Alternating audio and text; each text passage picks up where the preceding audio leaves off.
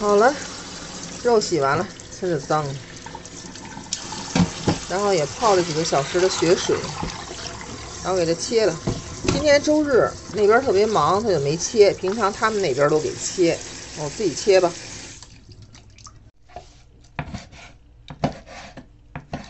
先把牛肉切成小块，切点葱姜，搁点葱姜焯一下，姜片，点火，凉水下锅，牛肉焯一下，再搁点料酒，搁点白酒。搁点料酒，行。现在已经血水出来了，然后把这汤倒掉，温水给它洗一下，然后用温水给它洗洗干净，然后放一点油，然后把这个肉放进去煸，把这水给它炒没，扒了，给炒干了。水差不多都出去了，然后就可以放佐料了。肉都已经炒干了，好，香叶、大料、葱姜蒜、冰糖、豆瓣酱，搁两勺，还有蚝油。一定啊，最后放盐，千万别着急放盐。蚝油搁的有点多了，没事。然后这是老抽，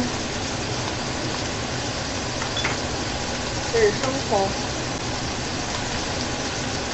再放点白酒，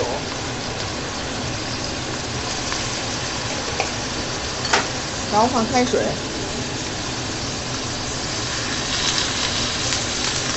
好了，你要能吃辣的，放一袋放一袋辣精辣椒啊，辣椒去腥的。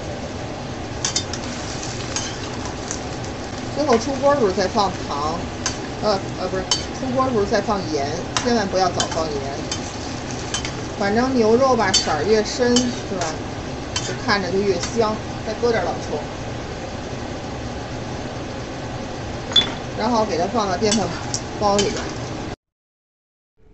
好了，放进去了。然后炖肉功能，行，这个是大宇牌子压力锅，炖出肉特别香。这是美国杰士豆浆机，打出豆浆也非常好吃。好了，牛肉，再放点盐，没多少了，倒吧。行，差不多。哇，看着好香啊！做点牛肉面吃，忘了搁香菇了。我煮煮香菇，再放进去。好，放点油，然后放葱花，再放西红柿，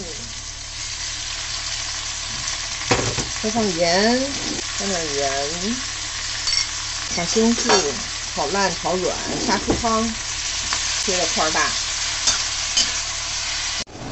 然后放点牛肉。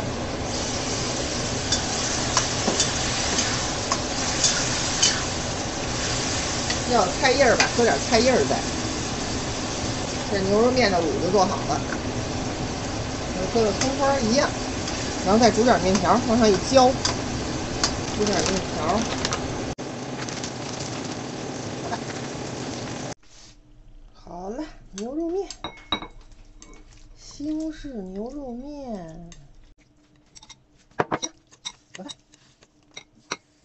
学会了吗？喜欢的可以点个赞啊！好，这期视频就分享到这儿，拜拜。请点赞关注哦。